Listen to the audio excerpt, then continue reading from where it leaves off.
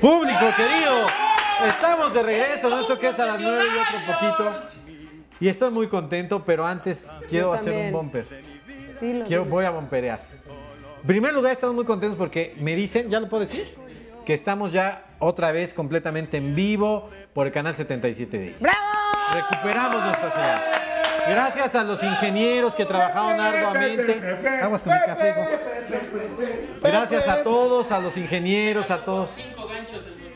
Ya nos los trajeron de Houston, entonces gracias. Ya los extrañábamos mucho, público querido. Y gracias por sus mensajes, Sí, sobre muchas todo que gracias, en redes muchas sociales gracias. nos preguntaban si ya no íbamos a volver, Así qué es. estaba pasando. Aquí estamos dando lata Aquí de nueva estamos. cuenta. Muchas, muchas gracias. Y otro bumper, no se vaya señora, porque usted que está en su casa, deje lo que está haciendo, porque al ratito está con nosotros una querida amiga que es Anabel Ferreira, está aquí y van a ver.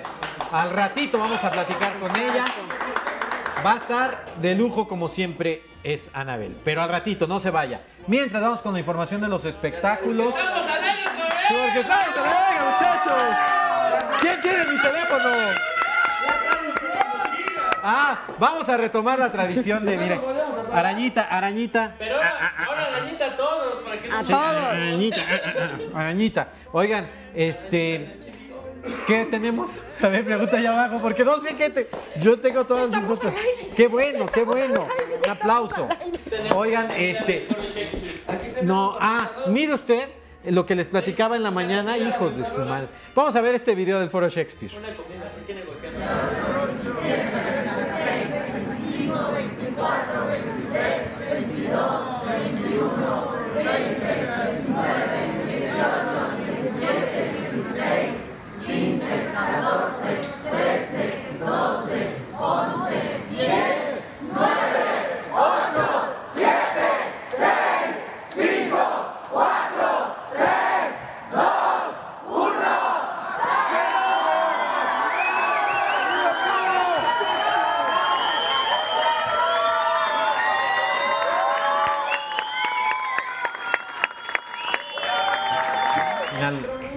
Bueno, pues ahí está. luces. Sí, apagaron la marquesina, nada más que no se vio, pero apagaron la marquesina. Es muy triste perder un teatro en la, eh, aquí en la Ciudad de México, que es uno de los lugares donde eh, hay más museos y donde tenemos una cantidad de teatro importante que podemos competir contra Argentina, Qué que en lástima que uno Argentina hay menos. muchos ¿eh? teatros.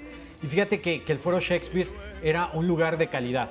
Sabía uno como en el, en el teatro helénico. Hay ciertos teatros donde uno mm, aprendamos a ver teatro, señora. De verdad le digo esto. No porque sea famoso o no sea famoso, o la obra sea de risa o no sea de risa, no, no, no juzgue por eso la obra. Júzguela por la marquesina que tiene un respeto. El Centro Cultural Helénico tiene cosas impresionantes. eh, los teatros de la UNAM tienen cosas maravillosas. Vayan, el Centro Cultural del Bosque, que también tiene unas obras formidables. El foro de, de- de María Rebeca, de- ¿cómo se llama? tu? Los Belecén. No juzguen a la obra nada más porque si hay un famoso no lo hay. Júzguela, vaya usted, pague, o no porque está barato, porque dicen, ay, se empezó a estar aburrida. Vaya.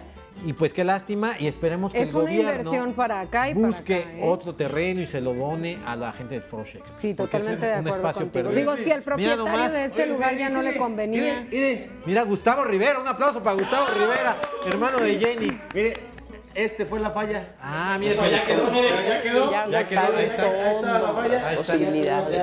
Muy bien. No sé si tengan Parece, como- parece de, comercial, de comercial de solidaridad, ¿no? Así de, ya tenemos carretera, don Beto, ¿no?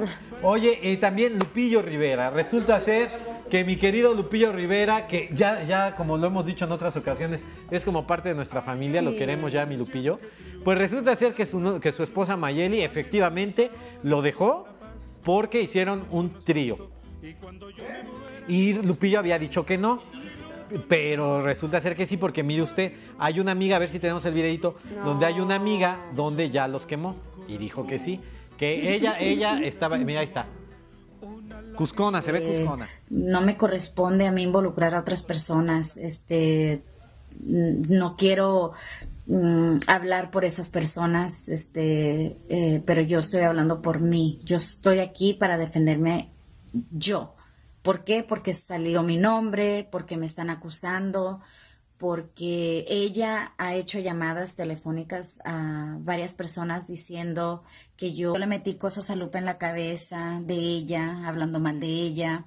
Este, y eso es totalmente falso. Yo jamás a Lupe le he hablado mal de ella. Este, él y yo, las conversaciones que hemos tenido han sido tocantes. Ahorita les cuento un chiste que me contaron ayer. No, bueno. Este, es que- ¿Cómo se mete? Híjole, a- ahorita que estamos viendo la serie de la vida de Jenny Rivera, entendemos que toda la familia, todos los hombres de esa familia, este, se ven expuestos a este tipo de, de situaciones. Pero fíjate que, que si te fijas, Lupillo siempre ha tenido un carácter fuerte. Y si te fijas en la serie, tocan la, la vida de, de todos, Menos. de- menos de Lupillo, ¿te has fijado? Sí. Porque Lupillo es muy mecha corta y no le gusta que se metan en su vida. Ahora, Lupillo es un excelente intérprete. A mí me encanta. Su show lo he visto en vivo, me gusta.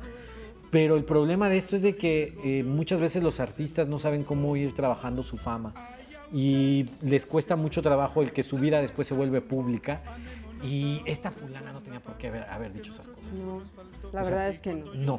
Lupillo lo vimos hace poco que se molestó con un paparazzi, incluso golpeó el, el- el vidrio del coche donde se subió el paparazzi, lo amenazó de muerte a Lupillo.